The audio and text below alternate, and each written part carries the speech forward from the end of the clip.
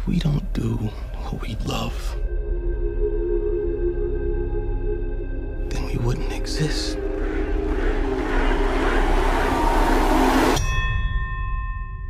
It's time, kid.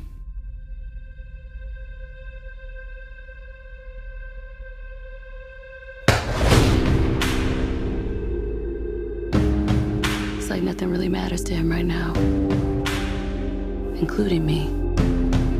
You gotta think real hard about this. You got people that need you now. I'm taking the fight. Viktor Drago, son of Ivan Drago, who infamously killed Apollo Creed, appeared today to issue a challenge to Adonis Creed. Don't do this. I ain't got a choice. That's the same thing your father said, and he died right here in my hands. That kid was raised in hate. It's dangerous.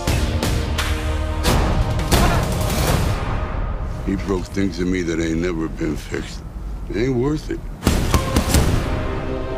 It's not just us anymore, Dave.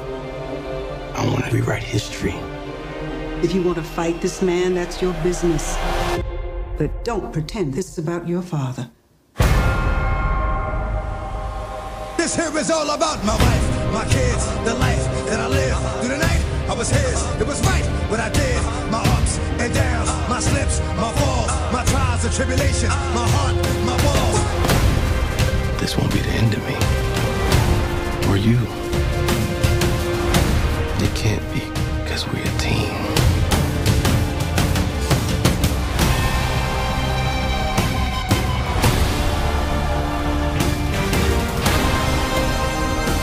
Now you know what you're fighting for.